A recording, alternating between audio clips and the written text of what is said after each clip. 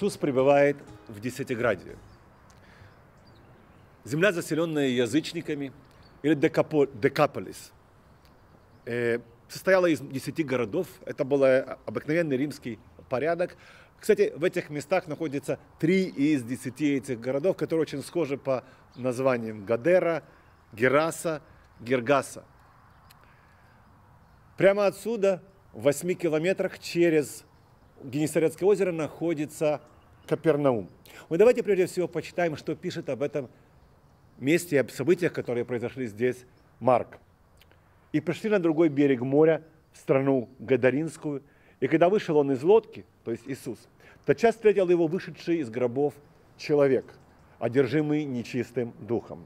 Он имел жилище в гробах, и никто не мог его связать даже цепями, потому что многократно он был скован оковами и цепями, но разрывал цепи и разбивал оковы, и никто не в силах был укротить его. Всегда днем и ночью в горах, в гробах кричал он и бился о камни. Увидев же Иисуса издалека, пробежал и поклонился ему, и вскричал громким голосом, сказал, «Что тебе до меня, Иисус, Сын Бога Всевышнего? Заклинаю тебя Богом, не мучь меня». Ибо Иисус сказал ему, «Выйди, дух нечистый из всего человека». И спросил его, «Как тебе имя?» И он сказал в ответ, «Легион имя мне, потому что нас много». И много просили его, чтобы не высылал их вон из страны той. Паслось же там на горе большое стадо свиней. И просили его все бесы, говоря, пошли нас свиней, чтобы нам отойти у них. Иисус позволил им. И нечистые духи, выйдя, вошли в свиней, устремились в стадо с крутизны в море, и их было около двух тысяч, и потонули в море. Пасущие же свиней побежали и рассказали в городе и в деревнях, и жители вышли посмотреть, что случилось. Приходят к Иисусу, и видят, что бесновавшийся, в котором был легион, сидит и одет, и в здравом уме, и устрашились. И видевшие рассказали о том, как это произошло с бесноватым и о свиньях, и начали просить его, чтобы он отошел от пределов их. И когда он вошел в лодку, бесновавшийся просил его, чтобы быть с ним. Но Иисус не дозволил ему, сказал, иди домой к своим и расскажи, что сотворил с тобою Господь. А Иисус пошел и проповедовал во Десятиграде. Давайте восстановим события, которые здесь произошли. Иисус находится в Капернауме. Писание говорит нам, что бесноватый, или, как Матфей говорит, бесноватые, по Матфею их было двое, кричали и били в гробах днем и ночью. Это было ужасное зрелище, но это было слышно, потому что они находились в состоянии экстаза, экстатической истерики и постоянно кричали днем и ночью. Местные жители говорят, что хотя до Капернаума 8 километров прямо по воде, но потому что вода очень хорошо передает звук, особенно в ночное время, время все прекрасно слышно. Поэтому совершенно не исключено, что когда день и ночь, находясь в своем штабе в Капернауме, Иисус слышал этот звук, он с одной стороны страдал от невозможности спокойно проповедовать и учить, но с другой стороны он не мог не сострадать людям, которые здесь находились. Надо понимать еще одну проблему, которая была у Иисуса. Иисус, который говорил, что он пришел к погибшим овцам дома Израилева, понимал, что здесь по эту сторону Генесарецкого озера, либо Генесарецкого моря, живут не евреи. И действительно, эта земля всегда была населена язычниками, и евреи здесь никогда не жили. Еще один указатель на то, что здесь жили не евреи, подсказывает нам непосредственно текст. Они пасли свиней.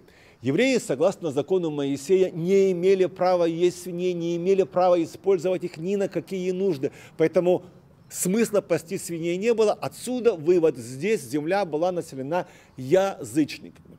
Итак, Иисус садится на лодку вместе со своими товарищами и плывет здесь. Именно здесь их застигает шторм, который называется на языке местных арабов шаркия, что значит внезапный шторм, внезапный ветер. Людям может показаться, что на самом деле невозможно, чтобы возник шторм на таком маленьком озере. И это действительно чудо. Это действительно чудо, когда шторм возникает как бы из ничего. Он приплывает к этому берегу и из гробов выходит бесноватым. Я хочу, чтобы мы поняли, о чем идет речь. Когда он прибывает на противоположный берег а, Гадарим место, а, то выходит бесноватый. Матфей описывает по своей сути существовавшую у народов этой земли традицию. Язычники считали очень часто, что если они будут жить в пещерах, на кладбищах, то в них входит дух их предков. И когда они приходили сюда, они изнуряли себя, во-первых, голодом, они молились с бесом, и в конечном итоге они верили, что, собственно, когда они обитают в этой среде, то духи их умерших предков дают им силы. И это была весьма распространенная практика в это время. Итак, Иисус выходит им навстречу и встречает их. В трактате, например, Санидрин Раби Акива оплакивал таких людей. Он говорил, вопрошающий мертвых. Это человек, который морит себя голодом и бродит по кладбищу, чтобы снизошел на него нечистый дух. Если человек постится ради того, чтобы на него снизошел нечистый дух и достигает своей цели, не в большей ли мере он достиг бы своей цели, если бы постился для снискания духа святости. Очень сильное утверждение, поэтому я бы не стал рассматривать людей, которые здесь жили, как просто несчастных сумасшедших. Это были люди, которые в свое время добровольно выбрали для себя этот путь, потому что они решили, что таким образом они достигают какой-то определенной духовности. Естественно, впав в такое состояние, уже трудно из него выйти, но они находились в нем. И теперь происходит весьма интересная вещь. А, Иисус спрашивает у них как тебе имя этого беса. Согласно еврейской традиции, невозможно было выгнать беса, если ты не знаешь его имени. Именно поэтому Иисус обращается, они говорят имя легион, то есть нас огромное количество. В римском легионе находилось до 10 тысяч человек. И таким образом мы знаем, что когда на горе паслось стадо свиней, до двух тысяч. То есть, если предположить, что в каждую из них, занимаясь арифметикой духовной, вошел хотя бы один бес, то там было 20% вот того легиона. Опять-таки, э, опять-таки Матфей говорит, что их было два, этих одержимых. Теперь интересная вещь. Иисус выясняет имя и говорит, начинает общаться с бесами. И бесы говорят, еще не наступило наше время. Еще не наступило наше время. Это очень распространенный в иудаизме прием, потому что именно в иудаизме бесы имели свое время. И очень часто, когда раввины приходят, у нас есть огромное количество свидетельств, свидетельств по этому поводу, они приходят и занимаются экзорцизмом, бесы говорят, еще не наступило время, еще не наступило время. И в некоторых случаях раввины были вынуждены отступать, потому что время действительно не наступило паслись на этой горе. На этой горе кто-нибудь возразит, что она находится в некотором удалении от Генесарецкого моря. Сегодня, в древние же времена, вода подступала гораздо выше, и на этой горе паслось огромное стадо свиней.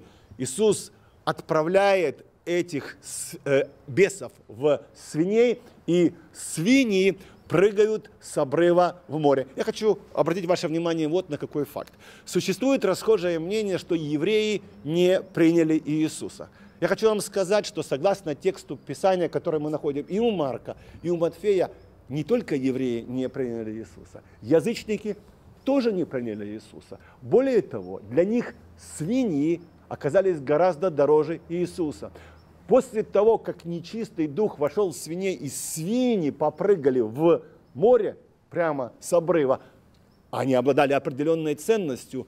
Что они предпочли, жители Гергесы, Гадеры и Гарасы? Они сказали Иисусу, чтобы он удалился, несмотря на то, что Перед ними был человек, которого он исцелил, несмотря на то, что этот человек фактически его вернули к новой жизни. Они испугались и устрашились, и они решили не оставлять у себя Иисуса, а решили его изгнать. Причина? Причина состояла в том, что они лишились своих свиней. Отсюда вывод. Иисус, который пришел две тысячи лет назад прежде всего к погибшим овцам дома Израиля, он предлагал себя как спаситель и физически, и психологически, и духовный, также и язычникам. Но суть состоит в том, что все согрешили, и все лишены славы Божией. И именно поэтому Иисус был отвергнут в равной степени язычниками еще раньше, чем он был отвергнут евреями в конце повествования у Матфея. Ну что ж, такова человеческая природа. И нам Вместо того, чтобы искать крайних, валить друг на друга и искать тех, которые с нашей точки зрения хуже нас, впору спросить, что для меня важнее в жизни?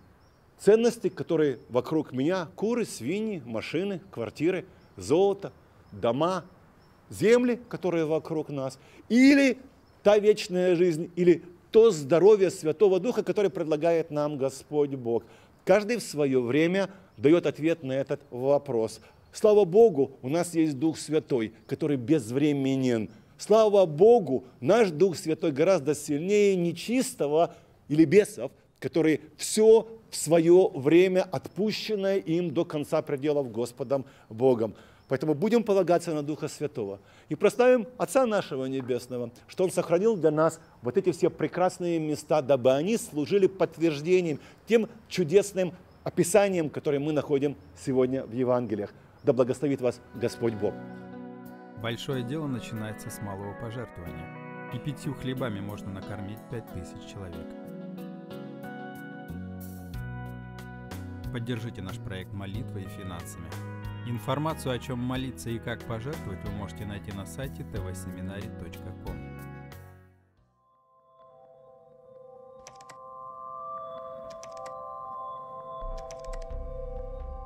Ищите нас в поисковых системах по запросу ТВ-семинарий.